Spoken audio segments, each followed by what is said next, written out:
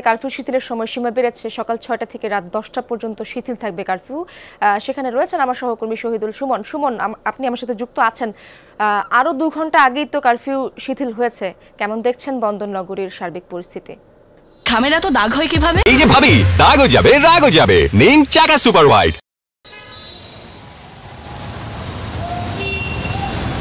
ইশরাত একেবারে স্বাভাবিক যে দিন, সে দিনের মতোই আসলো সকালটা শুরু হয়েছে এবং আপনি দেখছেন, আমি যদি আমার পেছনে দেখাই, একেবারেই যান চলাচল স্বাভাবিক রয়েছে এবং যান যানবাহনের সংখ্যাও আসলো ধীরে ধীরে বৃদ্ধি পাচ্ছে। যেহেতু আজকে চট্টগ্রামে ষোলো ঘণ্টা কারফিউ শিথিল রয়েছে, এভাবে কিন্তু প্রত্যেক দিন কারফিউ শিথিলের যে সময়সীমা, সেটি কিন্তু বাড়ছে এবং সাধারণ মানুষ তাদের যে দৈনন্দিন কাজ, সেটি আসলে স্বাভাবিক দিনের মতোই আসলে শুরু করছেন এবং শেষ করছেন। যদিও বা আজ রাত দশটা পর্যন্ত তারপরেও আসলে সাধারণ মানুষ বলছেন যে একেবারে পুরোপুরি কারফিউ যদি শিথিল হয়ে যায়, সেক্ষেত্রে তাদের যে ব্যবসা বাণিজ্য কিংবা তাদের যে দৈনন্দিন কাজ, অর্থাৎ দশটার পরও যাদের কাজ রয়েছে, তারা স্বাভাবিকভাবেই তাদের যেই কাজকর্ম, সেগুলো তারা শেষ করতে পারবেন। তারপরেও সাধারণ মানুষের মধ্যে এটিও আসলে এক ধরনের ভয় কাজ করছে। তারা আসলে বলছে একেবারে কারফিউ প্রত্যাহার না হওয়া কিংবা একটি গমট পরিবেশ তৈরি সৃষ্টি হওয়ায় তাদের মধ্যে আছে কিছুটা আতঙ্ক ভিতরে ভিতরে রয়েছেন, তারা কাজকর্মে বের হচ্ছেন, তারপরও তাদের